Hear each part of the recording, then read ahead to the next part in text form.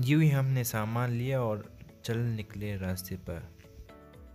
फिर आखिर हम उसी जगह पहुँच चुके हैं लेकिन जगह का नाम नहीं बताऊँगा क्योंकि वो आपके लिए सरप्राइज़ फिर आखिर हम उसी जगह पर पहुँच चुके हैं बहुत ज़्यादा सर्दी है और इस ब्लॉक में मेरे साथ है मेरे दोस्त बिलाल खान।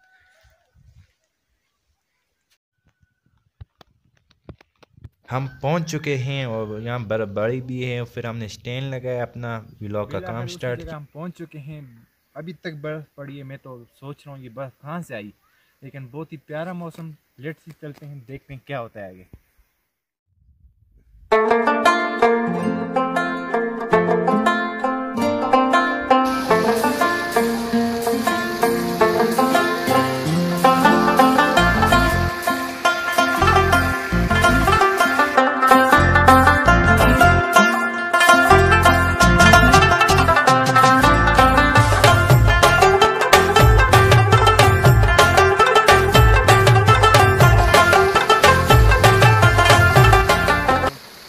दूर से लोग इधर आ रहे और जा रहे हैं।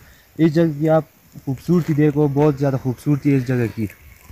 इस बाई से माल ज़िला मानसरे की जान छतर प्लेन की खूबसूरत तरीन इलाका अलमास इसे कहते हैं। यहाँ से बहुत लोग आते हैं टूरिस्ट आते हैं, बहुत दूर से आते हैं। मानसरा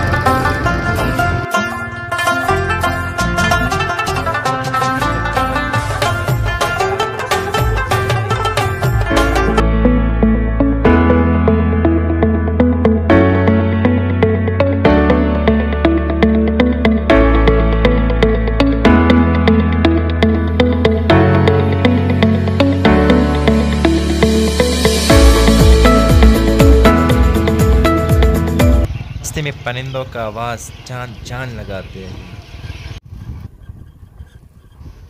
वापसी में डूबता हुआ सूरज का नज़ारा हमने किया, जो बहुत ही अमेजिंग